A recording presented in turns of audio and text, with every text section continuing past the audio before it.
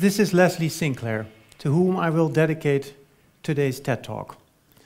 Leslie died at the age of 27 after battling cancer for 10 years. Now, when I think back of those times, I ask myself, are we doing enough to eradicate all these horrible diseases from the world? Now, that's a very ambitious goal, and I know it. So let me rephrase. Can we do more? And my answer to that question is a certain yes, we can. And let me explain to you why I think that is true. Did you know that for about half of all the medical procedures, there is no solid scientific evidence? That is, one in every two medical procedures, there is no solid scientific evidence. And we all know that healthcare costs are skyrocketing. Let me give you an example. Every year, 230 million surgical operations are being performed at a cost of nearly half a trillion dollars. Now, one quarter of all those medical surgical operations develop complications, and they have to be rehospitalized at a cost of about $12,000 per patient on average. People who are in hospital, back in hospital after a complication have an eight times higher probability of dying in hospital. And the surprising fact is that half of these are preventable. So what are we going to do about that? I believe we need a project of similar ambition and scale as putting a man on the moon. Almost 50 years ago, man walked on the moon. And it was a project at the bleeding edge of what was technologically possible at the time. And it was driven by a vision of men and women who knew what could be accomplished. I believe with a similar project in healthcare, we can revolutionize healthcare. And I'm going to bring you some good news. In my field of research, I'm going to talk about three breakthroughs.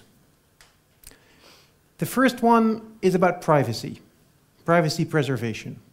The second one is about analyzing the data using a new tool called deep learning. And the third one is about discovering causal relationships. And for each one of these three, there is a hero, as you will see. So let me first discuss the first one, preserving privacy. Now, what the machine learner or the data scientist really wants is to get his or her hands on all of the data in the world. That means all your DNA, everybody's DNA, everybody's full body MRI scan, everybody's clinical data, everybody's hospital visits, everything.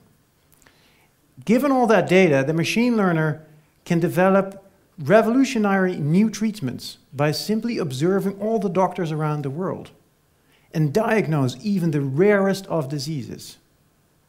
But the reality is quite different, as any practitioner will tell you.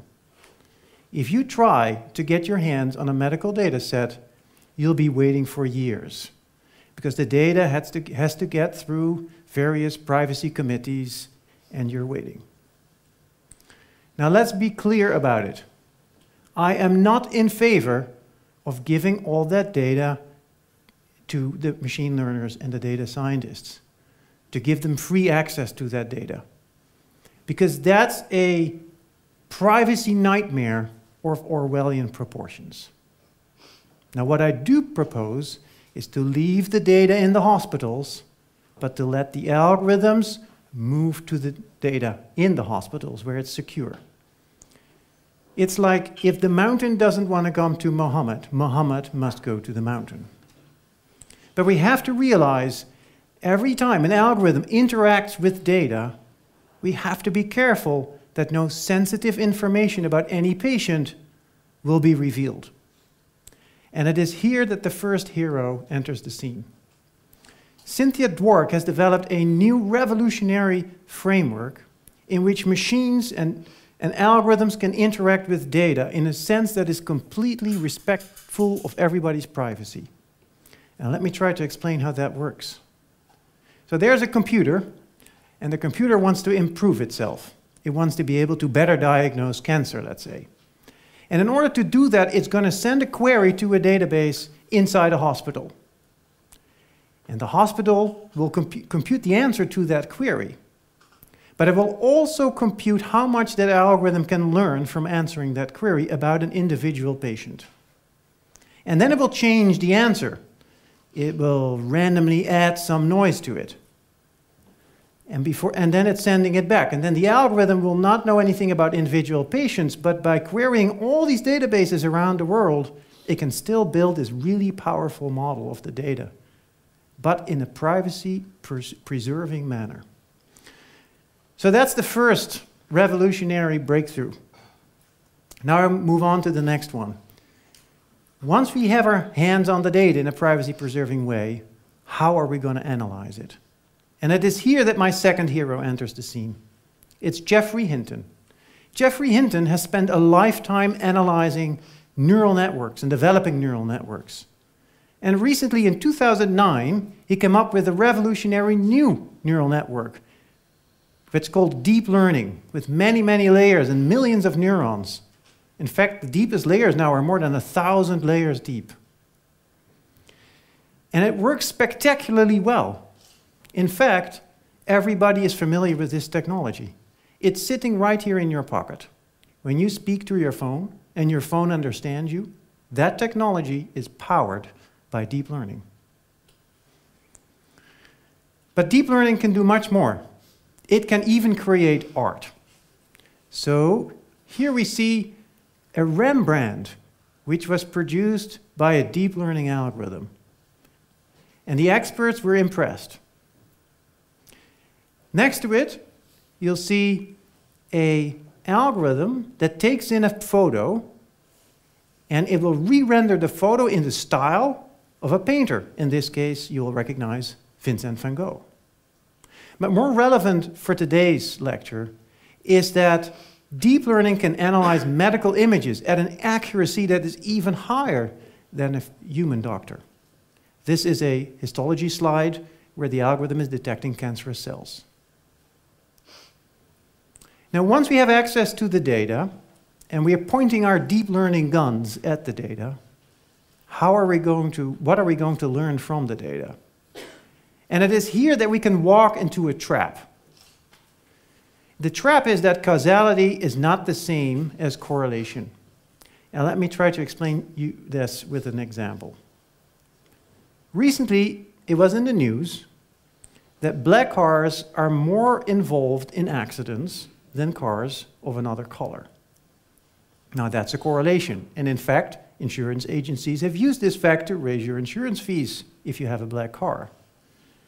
But it's hardly the blackness of the car that's causing the accident. In fact, it's the personality traits of the driver that cause the car to be black, because he likes black cars, and cause the accident. But it's important that in healthcare, we are only important in causal relationships. We are not interested in correlations. We want to know which factors cause a disease. And we want to know which treatments help the patient recover. Now, let me explain to you how you can walk into a trap if you would just analyze the data. Here is again a correlation between a difficult birth and mental disabilities. It is known that this correlation exists. People have always thought that the difficult birth is actually causing the mental disability. Makes sense, right? But what's really true is that the mental disabilities are causing the difficult birth and difficult labor. Now, how can that be? It's because the brain of the mother and the brain of the child will have to coordinate in order for the smooth ride out. And it is here that the third hero enters the scene. Judea Pearl has developed a whole new set of tools that can distinguish correlation from causation. So with his tools, we can find the treatment that causes the effect. So it seems there's really one thing that we need to do. We need to get organized. We need to get all these patient files into digital form so that they can be read by machines in a privacy preserving way. We want to structure the data. We want to link the data so that it becomes searchable. And we need new legislation that allows these data miners and data scientists to actually engage with this data in a privacy preserving manner. If we achieve this, then I think we can revolutionize healthcare. We can save millions of lives. In fact, we can bring healthcare to corners in the world where there is no healthcare current, currently at all, like here in Africa, using our cell phones. Maybe even we can create a world where young adults like Leslie will not have to die at such a young age. I'm working with my lab and my brilliant students and postdocs and colleagues every day to achieve that goal. I say, let's fly that healthcare rocket to the moon. Thank you.